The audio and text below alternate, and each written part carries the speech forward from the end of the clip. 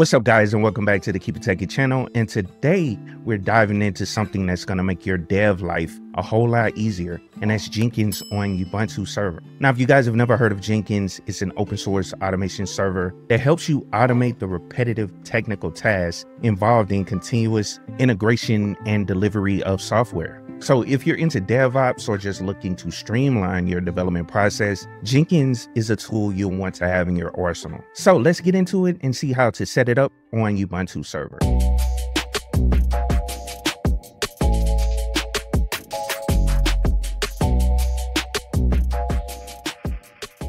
Now, before we get to the install, I want to go to the website for Jenkins. This is jenkins.io. You can actually download Jenkins here. You can also check out their documentation that can help you out through the setup process. But what can Jenkins do for you? Well, Jenkins is all about automation. So whether you're running tests, deploying applications, or setting up continuous integration, continuous deployment, the CI CD pipelines, Jenkins has everything you need. Now, imagine pushing your code to GitHub and Jenkins automatically testing it, builds it out, and deploys it to your server. It's like having a dedicated assistant that never sleeps. Plus, Jenkins is highly customizable with hundreds of plugins to integrate with your existing tools. So this makes it a perfect fit for teams of all sizes, from solo developers to large organizations. You can click here on plugins on the website and you can search through and check out all the plugins for Jenkins and they say they have 1900 plus community contributed Jenkins plugins to support building and deploying and automating any project. So super dope application. They have everything documented like installing the Jenkins pipeline, managing Jenkins, securing Jenkins, systems administration. So this is definitely when you want to go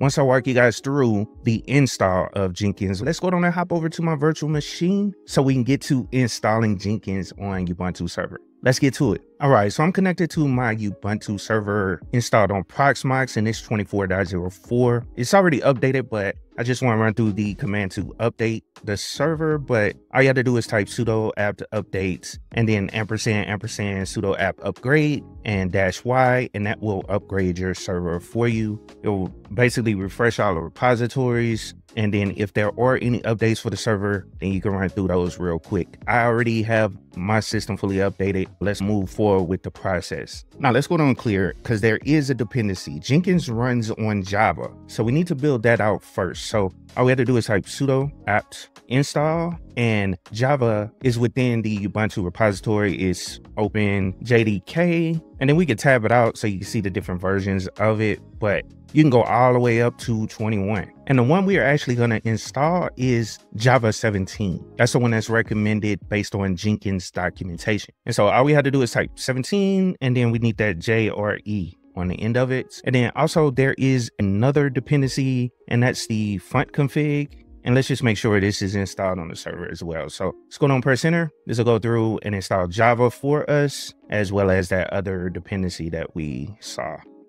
I'll be back when these installations complete. All right, so Java is installed and we can check out the Java version by typing Java dash V press enter. And actually I forgot, it's Java Tech version. So they'll tell you what version you have on here. So we got OpenJDK version 17.0.11. And make sure you guys check on the Jenkins website to verify the current supported version of Java that's needed for Jenkins. Because I know it's Java 21 out there right now, but I recommend 17. So I just wanted to let you guys know. All right, so now that that's done, let's go down and get Jenkins installed. If we go to installing Jenkins, uh, and then we go down to Linux, it has all the prerequisites up here at the top, minimum hardware requirements, 256 megabytes RAM, one gigabit of drive space, recommended hardware configuration right there as well. You also need Java, like I was saying. There are two different versions of Jenkins you can install. There's a long-term supported release which lasts for 12 weeks. And this is considered their stable release for that time period. And then there's also the weekly release with bug fixes and features and all that stuff that comes from the developers.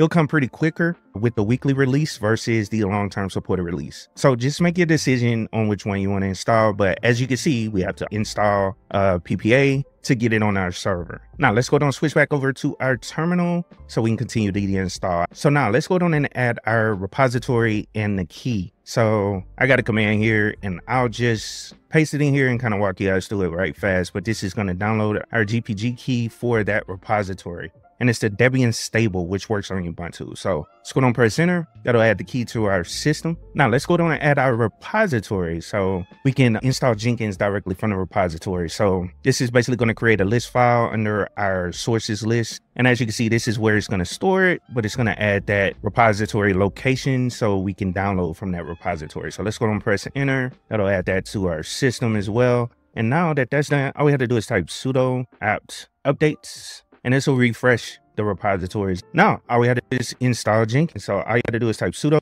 install, and then we can do dash y. That'll go through and install it for us. And I'll just go down and let this go, but this will get everything you need on the system set up for Jenkins. All right, so we're finished with the installation. All we have to do is start the service. So we can type sudo systemctl and then start, and then the package name is Jenkins. So press enter, that'll start it, and then we're going to enable it as well. So it'll start on reboot. So each time it reboots, Jenkins will start up on the system. Now we can go down and check the status of it. It should be running. If we did everything correctly, yours should be running as well. And you can just run the status command and you'll see that Jenkins is started. So it says active running, it's enabled. This lets you know that the service is enabled. And so it'll start up every time the server reboots. So you don't have to go in and mess with anything. Press Q and that's pretty much it. Let's say your server that you set this up on has the firewall turned on. Well, you need to go into UFW, which is installed on Ubuntu server by default. And we can check the status of it right now. Is I'm sure it's not on. This is a new server. It doesn't come by default with the firewall turned on, but you may want to turn it on and you may want to open up the port. So let's type sudo UFW status and we can check it. It'll say inactive if it's not enabled. So let's go and add some rules right fast because I'm gonna enable it so you guys can kind of see it. Yeah, we can skip this step and go straight to the server from here because you access it from the browser. But let me show you guys this in case you want to turn on your firewall let's say it's in the cloud or something, and you only want to open up that one port, then this is a good thing to do. So sudo UFW allow, first thing you want to allow is open SSH because we're doing everything right now from open SSH. So you may need to get into the server to troubleshoot something, or if Jenkins stopped working, you can go into the server because if you don't open up this port, you'll lose access to SSH. So let's go and press enter. That'll add the rule for that. And the default port for Jenkins is 8080. And so all we have to do is type 8080 sudo ufw allow 8080. So that'll open up that port as well. Now we can activate our firewall. So all you have to do is type sudo ufw enable, and this will enable our firewall. This is a warning basically saying this will disrupt your existing SSH connection if you don't have that port open. But since we have that port open, we're not going to lose connection. So the firewall is active. And then we can also run the status command again. So we can type sudo ufw status check our firewall and you'll see that open SSH is open and then port 8080 is open on our server. All right, so now let's get it configured. I'm gonna switch over to my browser. The way you get to it is by the IP address. Before I leave the terminal, type IPA and this will give you your IP address, or if you're in a cloud, just look at your cloud manager. The public IP address should be there. Copy it, switch over to our browser, open up a new tab, type in our IP address. It is port 80. 80. If you're planning on setting this up as a production server, I recommend you do a SSL cert so the connection is secure. And it's always a good thing to just put a cert on your server. Otherwise, you're going to run into this issue right here where it says not secure. Now, this is step one of the configuration. And this is a good thing that they put this here just because when you do this like in the cloud or something, uh, a lot of applications, they'll just have it open to the world. So if someone finds your server, before you get there, they can set themselves up as the administrator and have access to your full server. And the only thing you can kind of do, because they'll probably set their own password, is delete the virtual machine and start from scratch, which we don't want to do. But I'm glad they put this in here to unlock our Jenkins server. And it gives you the location. It puts it under var lib Jenkins secret and initial admin password. So let's switch back over to our terminal so we can get that information there. And so all we had to do, we can cat it out, hopefully. I don't know if it should, you should be able to just cat it out. So cat lib and then there's a Jenkins directory, and we might have to type sudo because this stuff is probably owned by sudo. So initial admin and then password, and it's not allowing me to tab it out. So it may be owned by the root. So let's just go and put sudo in there. And there is no directory. That's weird. Oh, and I actually went to the wrong directory. It is under secrets. So there's a secrets directory and then the initial admin passwords. Just copy this. Let's switch back over to the browser and paste that on up in here and hit continue and that'll unlock the server. Now, one of the things I want you to do is customize your Jenkins by installing the suggested pl plug. This will give you most of the time all the tools and plugins that you most likely will need. So I'm gonna install just the suggested ones. It's gonna go through, it gives you an idea of everything that's it and you'll see it go through the process of installing dependencies and then installing the plugins that you need for, for it. So I'll just kind of wait until it's finished. It, I'll come back when it completes. All right, so once it install all those plugins, it just kind of goes to the next step, which is creating our first admin account. And so I'll just name it KIT as my username and then just type in a super strong password for it. Actually, let's go back up. Let's make it KIT underscore admin. And then let's confirm our password.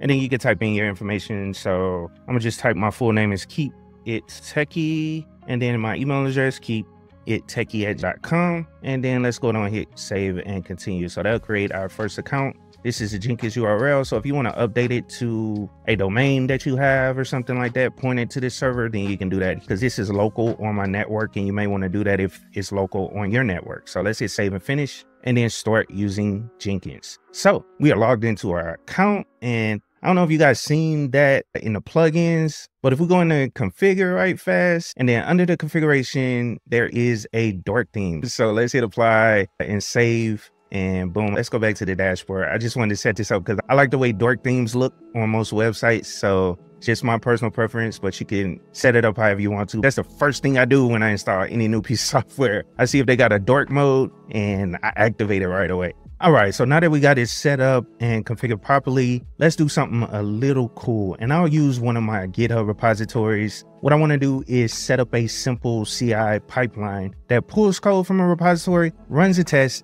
and then send a notification. And this example will give you a test of what Jenkins can do. And so let's go down and hit new item and we can name it whatever we want. I'm gonna just put K-I-T and then tag CI, that's fine, that'll work for me. And then use a freestyle project, that's fine, that's the classic, press okay. And then you can also give it a description. I don't know, this is my Minecraft. I'm gonna use that repository for it. I just copy and paste it in there, but just wanted to at least show you guys how to do it. But let's see code or CI and boom. Once you got that done, I'm gonna just go right to source code management and then we're gonna use Git because I need to grab my repository. And what you need to grab is your clone link, not the repository URL. Specify the URL or path to the Git repository. This uses the same syntax as your git clone command. So you essentially have to grab that, that link to clone the repository and we can turn that off. We don't need to see it. And we don't need any credentials because it's not like it's a private repository, it's public.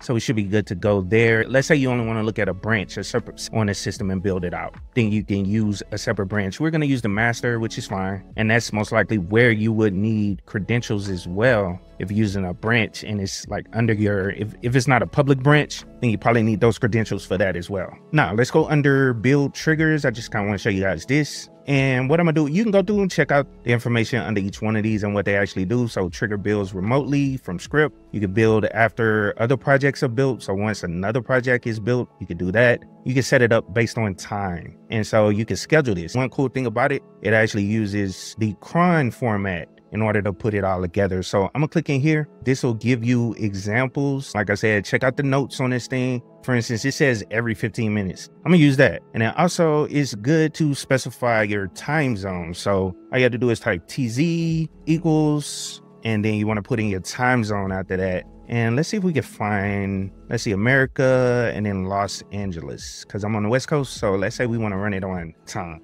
And there we go. I know I passed it. There we go. So just grab it. You have to put it in that format. Go back up to the top. And you need to put the time zone at the top of this. So TZ, which is for time zone, equals America, Los Angeles. And then we want to do it every 15 minutes. And then boom, this will show you if everything is correct, which I'm not sure why this is. How, oh, that's my uh, browser that's doing that, trying to get me to spell it a certain way. But we're good to go in the trigger section and let's go under the build section section. So this is the build environment, but the build environment, you could delete the workspace before the build starts. You can use secret text or files, add a timestamp to the console output, inspect build logs for published build scans, terminate a build if it's stuck, and then also some ant options. What I'm gonna do is go under the build steps and we're gonna execute some stuff in the shell right fast. What I'm gonna do is just run a test against the script that I have. And this is essentially a project I started a while back that goes through and install a Minecraft server.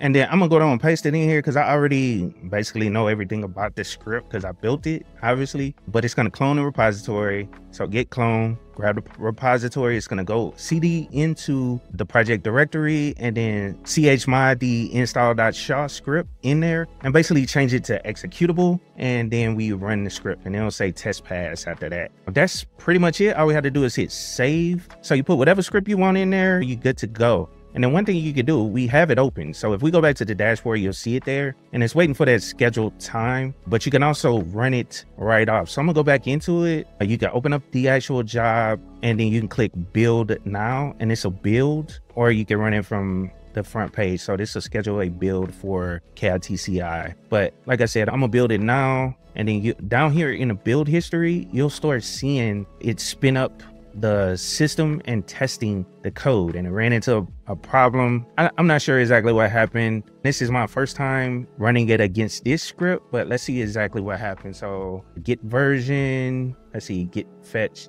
boom, git config, timeout, couldn't find any revision to build, verify the repository. So it's looking for a revision to it, which I didn't mean for it to look for any revisions. Ah, and I think I know what the issue is. It's not master, it's main. So yeah, sorry about that. So let's go back under, we could delete this build, but let's delete that one because we know that one is wrong and it didn't work properly, but you can go in here and edit our build again. Let's go back down to the source code management. No, we need to look at main. Not sure why it puts that in there by default. Main is typically what you want to do. So as far as the branch to build, the main branch, essentially. So let's go down, let's hit save and let's try to run this thing again. So let's hit build now and it's running. It hasn't failed us and it actually ran. Okay, cool. So we got a successful run and we could check out the information about it. So two milliseconds, uh, 3.8 build duration and it's from the repository and then pull the main. And then also we can go to the console output. This will go through and basically that's why I use this script because I knew it had some user input and it's basically gonna exit out if no valid choice and it wasn't gonna run through the full process. So as long as the script doesn't have any user input, it'll run through the whole test. I just knew the script had some user input and it was gonna kind of fail on its own, but not cause an error on Jenkins. It'll look as though it successfully ran the script. And so that's Jenkins in a nutshell. If you followed all my steps, you have Jenkins set up on Ubuntu server and you ran through a CI job using a GitHub repository. You can use mine, you can use yours, whatever. And you ran a successful test like I did if you followed all my steps. Jenkins is a powerful tool that can take your development workflow to the next level by automating all those repetitive tasks. If you found this video helpful, go down smash that like button, subscribe to the Keep It Techie channel for more tech tutorials, and leave a comment down below if you have any questions or suggestions for future videos. Again, thanks for watching, and until next time, keep it tech. Whenever I talk to people, whenever I mentor people uh, dealing with, you know, getting into tech, you got to figure out what you like or what you're interested in. Because yeah, a lot of people get into the you know tech field because you can make a good amount of money. The money is the motivator, but you also, in my opinion, in order for you to be happy, you gotta like what you're doing. You know what I'm saying? And so, like for me, a lot of times it doesn't feel like work, bro. Most times it really doesn't feel like work. It's it's yeah, I'm doing something fun. I'm doing something I love to do. You know what I'm saying? So that's what makes it you know great for me.